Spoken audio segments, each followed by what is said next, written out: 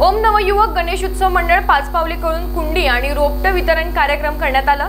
गणेश मूर्तींचं विसर्जन केल्यानंतर त्याच मूर्तींच्या मातीला एका कुंडीमध्ये समावून घेत त्या कुंडीमध्ये एक रोपट लावण्यात येतं. नंतर हे कुंडी आणि रोपट वितरण करण्यात येतं. हा कार्यक्रम टिमकी पाचपावली येथे मागील पाच वर्षांपासून करण्यात येत आहे. उमरेडकर उदयबाई देवस्थान पंच कमेटी यहाँ उपाध्यक्ष के रूप में मैं कार्यरत हूँ.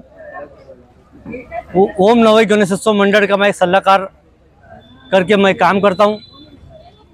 और किशोर उमरेडकर बहुउद्देशीय सामाजिक संस्था, इसका महासचिव के पद पर मैं कार्यरत हूँ।